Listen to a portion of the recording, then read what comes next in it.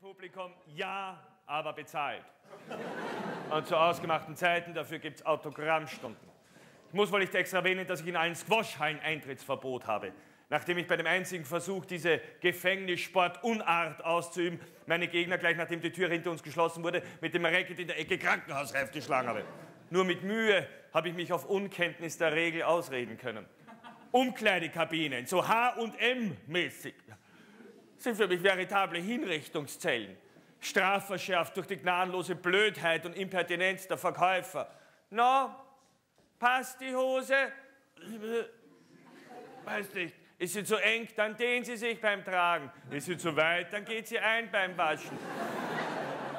Und ist sie ganz besonders hässlich, dann trägt man die jetzt so. Sie wissen, was Thomas Bernhard über den Kauf einer Hose geschrieben hat.